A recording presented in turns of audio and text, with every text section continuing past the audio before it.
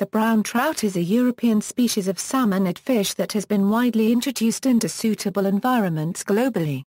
It includes both purely freshwater populations, referred to Salmo trutta morpha fario and S. trutta morpha lacustris, and anadromous forms known as the sea trout, S. trutta morpha trutta. The latter migrates to the oceans for much of its life and returns to freshwater only to spawn. Sea trout in the UK and Ireland have many regional names, including sewin, finnock, peal, mort, and white trout.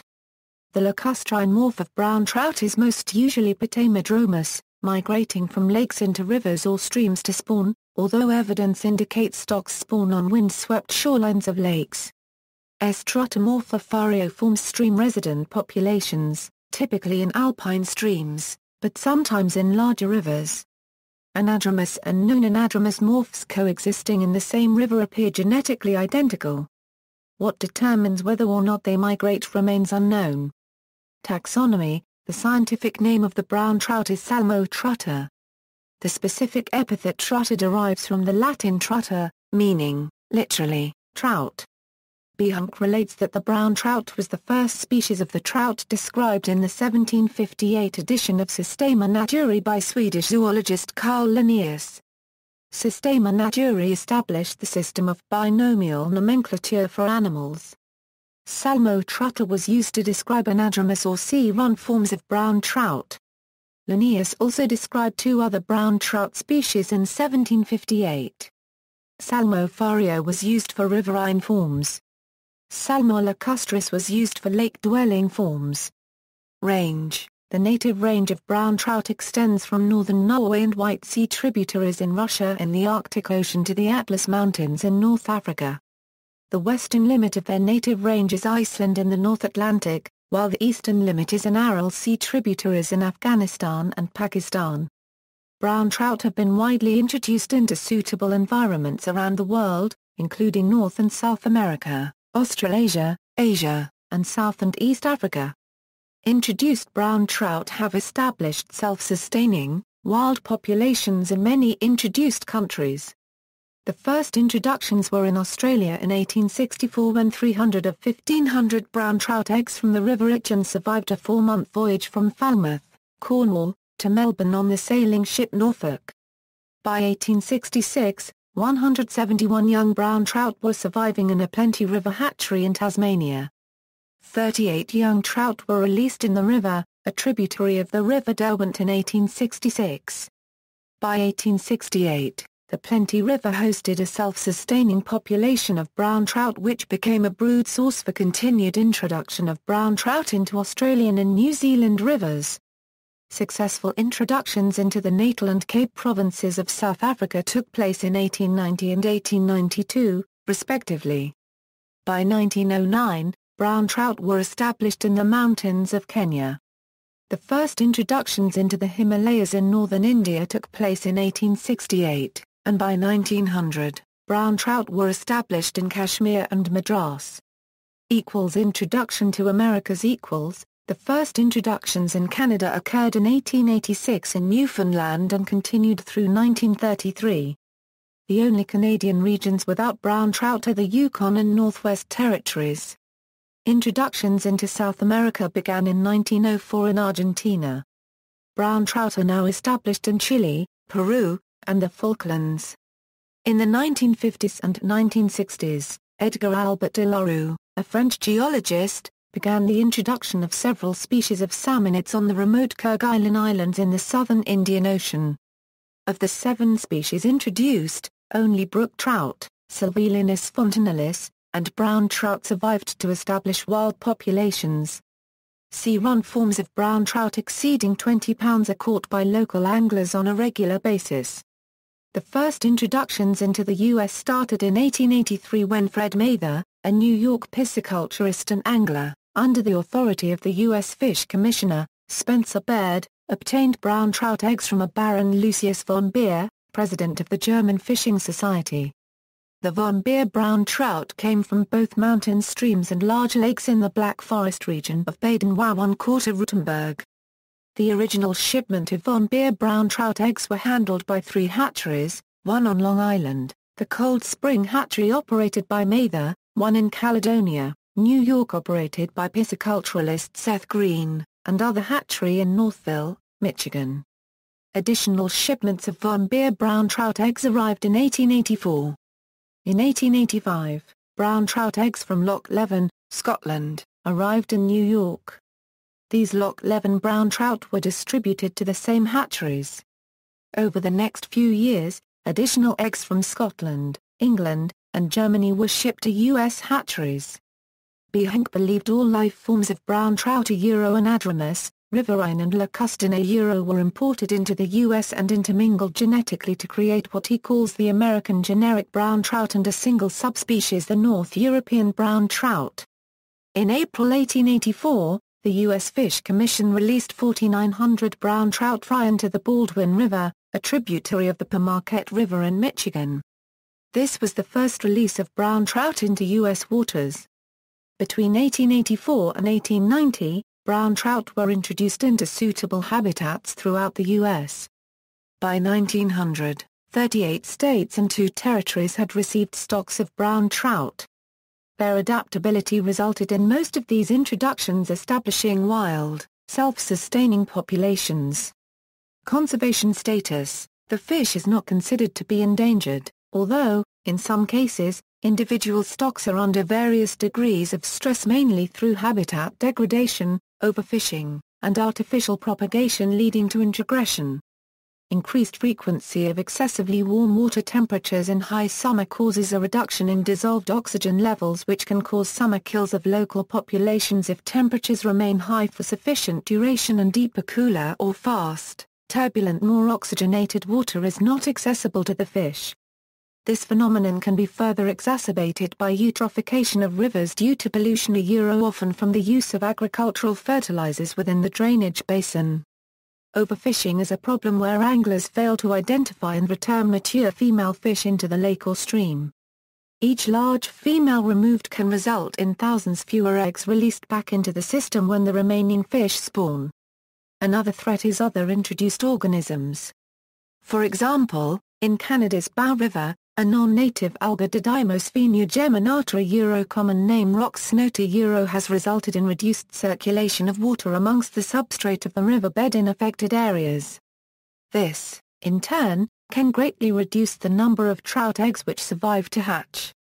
Over time, this leads to reduction of the population of adult fish in the areas affected by the algae, forming a circle of decline. Rock snot is believed to have spread accidentally on the soles of the footwear of visitors from areas where the alga is native. The wide variety of issues that adversely affect brown trout throughout its range do not exclusively affect brown trout, but affect many or all species within a water body, thus altering the ecosystem in which the trout reside. In small streams, brown trout are important predators of macroinvertebrates, and declining brown trout populations in these specific areas affect the entire aquatic food web. S. trutta morpha fario prefers well-oxygenated water in the temperature range of 60 to 65 degree Fahrenheit. Cover or structure is important to trout, and they are more likely to be found near submerged rocks and logs, undercut banks, and overhanging vegetation. Structure provides protection from predators, bright sunlight, and higher water temperatures. Access to deep water for protection in winter freezes, or fast water for protection from low oxygen levels in summer are also ideal. Trout are more often found in heavy and strong currents. Characteristics The brown trout is a medium-sized fish, growing to 20 kilograms or more and a length of about 100 centimeters in some localities, although in many smaller rivers, a mature weight of 1.0 kilogram or less is common. St. lacustris reaches an average length of 40 euro 80 cm with a maximum length of 140 cm and about 60 pounds. The spawning behavior of brown trout is similar to that of the closely related Atlantic salmon.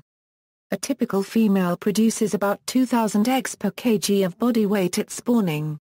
On September 11, 2009, a 41.45-pound brown trout was caught by Tom Healy in the Manistee River system in Michigan, setting a new state record. As of late December 2009, The fish captured by Healy was confirmed by both the International Game Fish Association and the Freshwater Fishing Hall of Fame as the new all-tackle world record for the species. This fish now supplants the former world record from the Little Red River in Arkansas. Brown trout can live 20 years, but as with the Atlantic salmon, a high proportion of males die after spawning, and probably fewer than 20% of anadromous female kelts recover from spawning. The migratory forms grow to significantly larger sizes for their age due to abundant forage fish in the waters where they spend most of their lives. Sea trout are more commonly female and less nutrient-rich rivers. Brown trout are active both by day and by night and are opportunistic feeders. While in fresh water, their diets frequently include invertebrates from the streamed, other fish, frogs, mice, birds, and insects flying near the water's surface. The high dietary reliance upon insect larvae, pupae, nymphs, and adults allows trout to be a favored target for fly fishing. Sea trout are fished for especially at night using wet flies. Brown trout can be caught with lures such as spoons, spinners, jigs, plugs, plastic worm imitations, and live or dead bait fish. Freshwater brown trout range in color from largely silver with relatively few spots and a white belly, to the more well-known brassy brown cast fading to creamy white on the fish's belly, with medium-sized spots surrounded by lighter halos. The more silver forms can be mistaken for rainbow trout. Regional variants include the so-called Loch Leven trout, distinguished by larger fins, a slimmer body, and heavy black spotting, but lacking red spots. The continental European strain features a lighter golden cast with some red spotting and fewer dark spots. Notably, both strains can show considerable individual variation from this general description. Early stocking efforts in the United States used fish taken from Scotland and Germany. Brown trout rarely form hybrids with other species. If they do, they are almost invariably infertile. One such example is the tiger trout, a hybrid with the brook trout. Diet Field studies have demonstrated that brown trout fed on several animal prey species, aquatic invertebrates being the most abundant prey items. However, brown trout also feed on other taxa such as terrestrial invertebrates or fishes. Moreover, in brown trout, as in many other fish species, a change in the diet composition normally occurs during the life of the fish, and piscivorous behavior is most frequent in large brown trout. These shifts in the diet during fish life cycle transitions may be accompanied by a marked reduction in intraspecific competition in the fish population, facilitating the partitioning of resources. First feeding of newly emerged fry is very important for brown trout survival in this phase of the life cycle, and first feeding can occur even prior to emergence. Fry start to feed before complete yolk absorption and the diet composition of newly emerged brown trout is composed of small prey such as chironomid larvae or baetid nymphs. Stocking, farming and non-native brown trout. The species has been widely introduced for sport fishing into North America, South America, Australia, New Zealand, and many other countries, including Bhutan, where they are the focus of a specialized fly fishery. First planting in the United States occurred April 11, 1884, into the Baldwin River, one mile east of Baldwin, MI. Brown trout have had serious negative impacts on upland native fish species in some of the countries where they have been introduced, particularly Australia. Because of the trout's importance as a food and game fish, it has been artificially propagated and stocked in many places in its range, and fully natural populations probably exist only in isolated places, for example in Corsica or in high alpine valleys on the European mainland. Farming of brown trout has included the production of infertile triploid fish by increasing the water temperature just after fertilization of eggs, or more reliably, by a process known as pressure shocking. Triploids are favored by anglers because they grow faster and larger than diploid trout. Proponents of stocking triploids argue, because they are infertile, they can be introduced into an environment that contains wild brown trout without the negative effects of crossbreeding. However, stocking triploids may damage wild stocks in other ways. Triploids certainly compete with diploid fish for food, space, and other resources. They could also be more aggressive than diploid fish and they may disturb spawning behavior. Scottish and Irish sea trout populations in recent years have seriously declined, possibly due to infestation by sea lice from salmon farms. Angling The brown trout has been a popular quarry of European anglers for centuries. It was first mentioned in angling literature as fish with speckled skins by Roman author Aelian in On the Nature of Animals. This work is credited with describing the first instance of fly fishing for trout the trout being the brown trout found in Macedonia.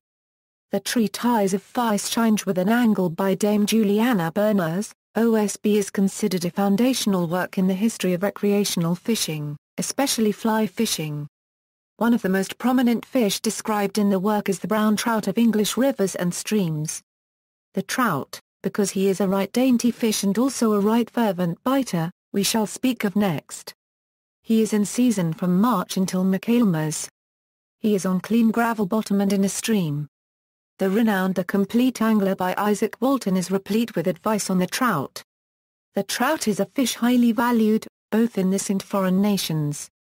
He may be justly said, as the old poet said of wine, and we English say of venison, to be a generous fish, a fish that is so like the buck, that he also has his seasons. For it is observed, that he comes in and goes out of season with the stag and buck. Gesner says, his name is of a German offspring. And says he is a fish that feeds clean and purely, in the swiftest streams, and on the hardest gravel. And that he may justly contend with all freshwater fish, as the mullet may with all sea fish, for precedency and daintiness of taste. And that being in right season, the most dainty palates have allowed precedency to him. Throughout the 17th, 18th, and 19th centuries, angling authors, mostly British, some French, and later American, writing about trout fishing were writing about fishing for brown trout. Once brown trout were introduced in the U.S. in the 1880s, they became a major subject of American angling literature. In 1889, Frederick M. Halford, a British angler, author published Dry Fly Fishing in Theory and Practice, a seminal work codifying a half-century of evolution of fly fishing with floating flies for brown trout. In the late 19th century, American angler and writer Theodore Gordon, often called the father of American dry fly fishing perfected dry fly techniques for the newly arrived, but difficult to catch brown trout in Catskill rivers such as the Beaverkill and Neversink rivers. In the early 20th century, British angler and author G. M. Skues pioneered nymphing techniques for brown trout on English chalk streams. His minor tactics of the chalk stream began a revolution in fly fishing techniques for trout. In 1917, Scottish author Hamish Stewart published the first comprehensive text, The Book of the Sea Trout, specifically addressing angling techniques for the anadromous forms of brown trout. Introductions of brown trout into the American West created new angling opportunities, none so successful from an angling perspective as was the introduction of browns into the Upper Firehole River in Yellowstone National Park in 1890. One of the earliest accounts of trout fishing in the park is from Mary Trowbridge Townsend's 1897 article in Outing magazine A Woman's Trout Fishing in Yellowstone Park in which she talks about catching the von Beer trout in the river. Long dashes downstream taxed my unsteady footing. The sharp click and whir of the reel resounded in desperate efforts to hold him somewhat in check. Another headlong dash, then a vicious bulldog shake of the head as he soared back and forth across the rocks. Every while inherited from generations of wily ancestors was tried until, in a moment of exhaustion, the net was slipped under him. Wading ashore with my prize, I had barely time to notice his size a euro a good four-pounder, and unusual markings, large yellow spots encircled by black, with great brilliancy of iridescent color a euro, when back he flopped into the water and was gone. However, I took afterward several of the same variety, known in the park as the Vombear, sig trout, and which I have since found to be the Salmo fario, the veritable trout of Izaak Walton. Within the U.S., brown trout introductions have created self-sustaining fisheries throughout the country. Many are considered world-class such as in the Great Lakes and in several Arkansas tailwaters. Outside the U.S. and outside its native range in Europe, introduced brown trout have created world-class fisheries in New Zealand, Patagonia and the Falklands. References. Further reading, Salmo trutta. Integrated Taxonomic Information System. Retrieved January 30, 2006. Froese, Rainer and Pauly, Daniel, ed. Salmo trutta in FishBase. 10 2005 version. Clover, Charles 2004.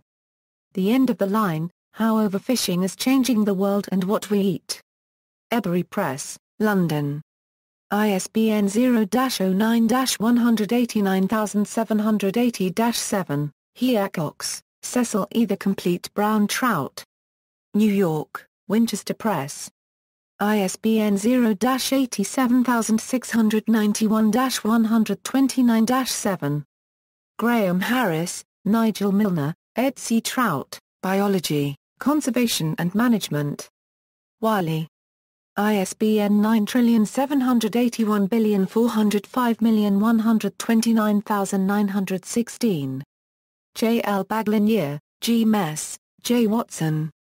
Biology and Ecology of the Brown Sea Trout. Springer Praxis Books.